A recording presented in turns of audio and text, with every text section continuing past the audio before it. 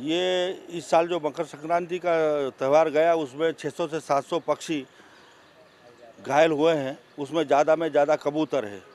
तो अब क्या कहेंगे मतलब किस तरीके से फॉरेस्ट डिपार्टमेंट इस इस पे कार्रवाई कर रहा है?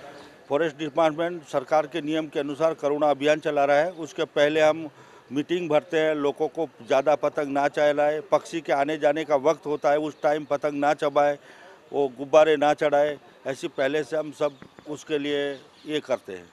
जी हमारी टीम होती है हम लोग जो एरियाज़ कवर किए होते हैं वहाँ पे जाते हैं रेस्क्यू कॉल्स आते हैं तो हम तुरंत लेकर आते हैं तुरंत ही हम जो गवर्नमेंट हॉस्पिटल्स हैं वहाँ पे उनको ट्रीटमेंट देते हैं उनके स्टिचेस लेते हैं फिर फॉरेस्ट डिपार्टमेंट में हम इनको रखते हैं। कैसी हालत में पाए जाते हैं जब आप उनको रेस्क्यू करने जाते हैं? जी पूरे खून से लटपट होते हैं उन लोग पूरी विंग्स कट हो चुकी है उन लोग तड़पते हैं बहुत ज़्यादा तड़पते हैं उन लोग।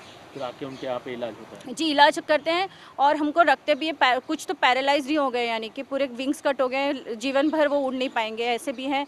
और दूसरे तो हम सिक्सटीन को ट्वेंटी जनवरी को हम इनको रिलीज़ कर देते हैं।